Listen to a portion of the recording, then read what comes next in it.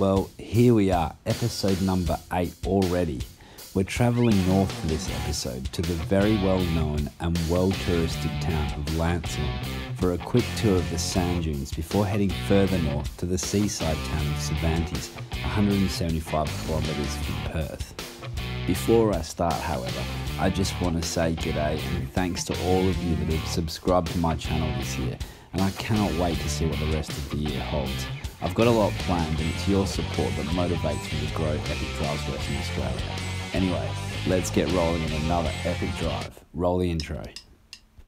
This is Epic Drives Western Australia, the channel dedicated to showcasing this great state. Join me, my family, and my mates as we travel this truly amazing state we call home and discover what makes this place truly epic. New episodes are released on the first of every month. Why not subscribe? And please don't hesitate to like, share, or comment. And don't forget to click the bell so you don't miss our next adventure. Named after an island just a five minute boat ride from the mainland, Lancelin was named by the French expedition under the command of Captain Nicolas Baudin in 1801. The name honours P.F. Lancelin, a scientific writer and author of the World Map of Sciences. WA has a love affair with Lancelin, popular with both local and international tourists, and known mostly for its crisp white dunes, clean beaches, and laid back vibe. It's good for sandboarding, dolphin spotting, and of course, fishing.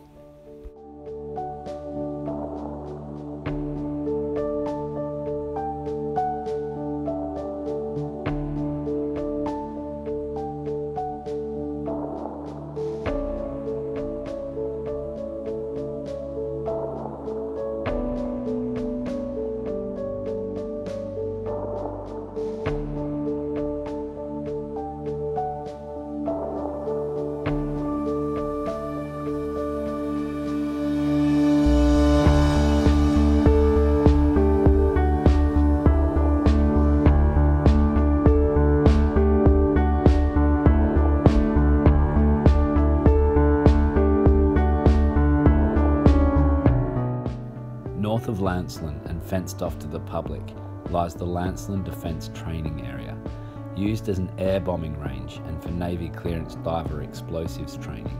It's also been used for SAS and counter-terrorism training. The range has often been used by US and other armed forces too.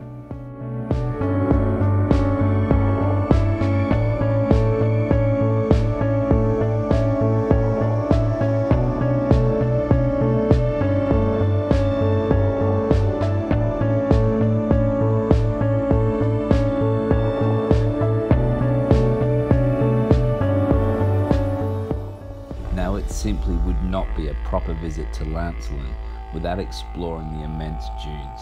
So on our way out, we traversed the 220 hectares of sand.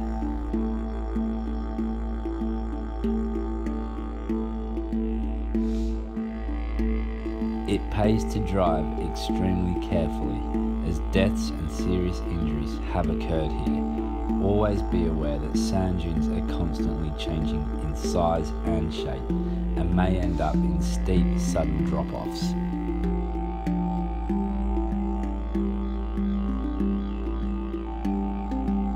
Some other very important factors to always be wary of is other vehicles, sandboarders, and pedestrians. It does get extremely busy here, especially in the holiday periods. In a small town with a population of around 600 swells to over 2,500. The sand dunes are open from 8am to 7pm and is patrolled by rangers as well as the police.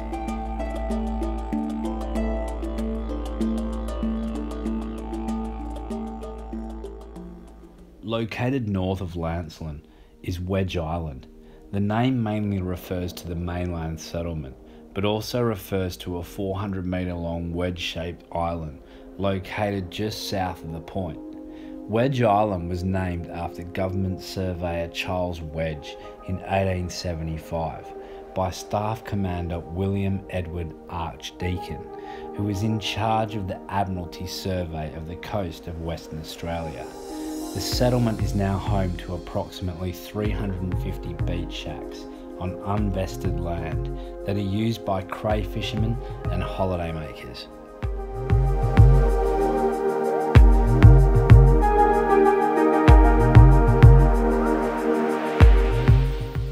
For over 70 years, the settlement at Wedge has been much more than just a physical location. With stunning beaches to enjoy and excellent fishing, the lifestyle here, which has all but disappeared elsewhere, is thriving and gives Wedge a unique vibe.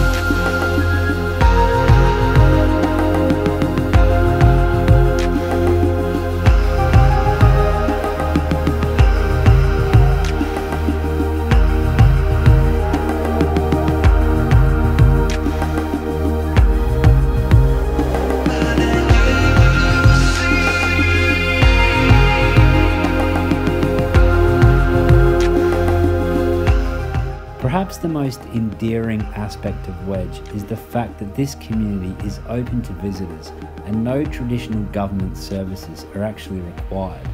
This is perhaps perceived as a threat by local government officials.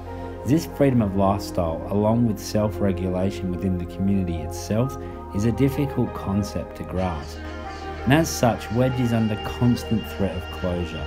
If you're like me and dread the thought of having iconic West Australian locations like Wedge shut and would like to show your support, I've put a link to their website in the description below.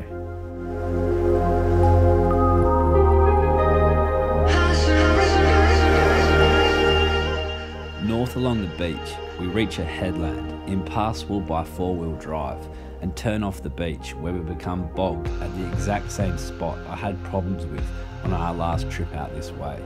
A combination of soft sand and bad angles on this section of track was a challenge yet again for my Hilux. With tyres down to 12 psi, MaxTrax, and a bit of diesel fumes added where necessary, I managed to make light work of this troublesome bit of sand track. Eventually, the four wheel drive track out of Wedge hits the blacktop at the small settlement of Grey. With daylight fading fast, we decide to head back to Perth and continue our journey a few days later.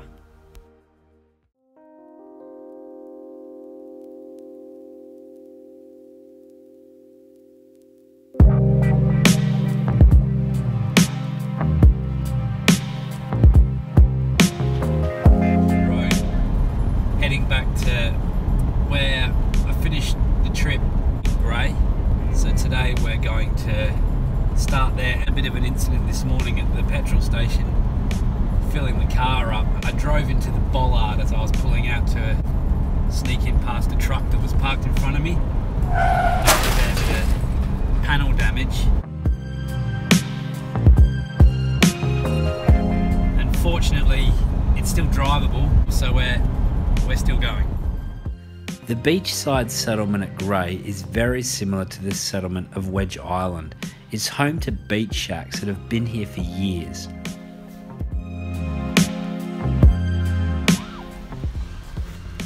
Lunchtime in Grey, just on the beach. A Bit windy, but to be expected this time of year. Uh, barbies don't really work when it's windy, so had um, some sort of cooked sausages and didn't bother airing down, which should always air down, but we're only doing literally 50 meters on the beach, so we plowed our way through and now we're coming off the beach. Hitting the highway again, we travelled just 15 kilometres north and reached the Pinnacles. These are limestone formations created from seashells in an earlier era when the planet was rich in marine life. Blown inland, the shells form large mobile dunes. The manner in which the pinnacles were formed is a subject of debate. Just up the highway from the Pinnacles and next to the town of Cervantes, we stopped to visit Lake Thetis. This is one of only a few places in the world with living marine stromatolites. The lake water is alkaline and nutrient poor, which is the ideal habitat for microbial amphipods and crustaceans, as well as small fish that thrive in the saline environment. With the end of another day of our northern adventure, we make camp at a spot north of Sandy Cape. With campfire season finally here, we sit back and roast marshmallows, whilst relaxing to the sound of the ocean. Yet again I find myself at peace with the sounds of Mother Nature, a warm fire, and my family the only welcoming distraction. It's in moments like these that I realise I want my boys to be able to provide this experience to their children and for generations after to find their place in the true wonder of nature's ability to make you feel at home in the middle of nowhere.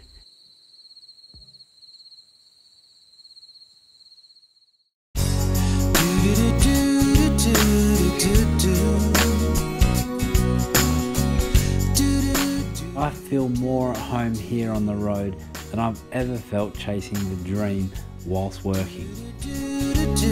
And on that note, I'll leave you with the sounds of Sandy Cape, and I'll hopefully see you next time on Epic Drives Western Australia.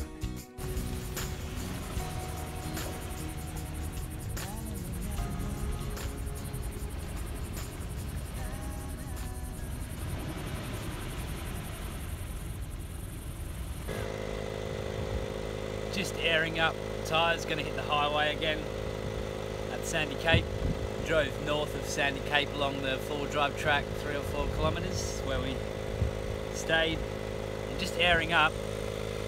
And one of the great things about having a compressor like mine, the cheap sort of ones, is you're forced to open your bonnet and have a have a sort of check round for any obvious oil leaks or that sort of thing and check the air filter and uh, yeah it forces you to, to do it every time you air up which is always a good idea and something that's easy to be missed. If you enjoyed watching and you haven't already, please help me grow my channel by subscribing, liking, commenting, sharing, all the good stuff. And check out my all new Patreon page. If you're a true Epic fan, why not don the shirt or the trucker hat that are now all up for grabs at the Epic Drives Western Australia Etsy store. All are linked in the description below. I'm Dan. This has been Epic Drives Western Australia. Catch you around.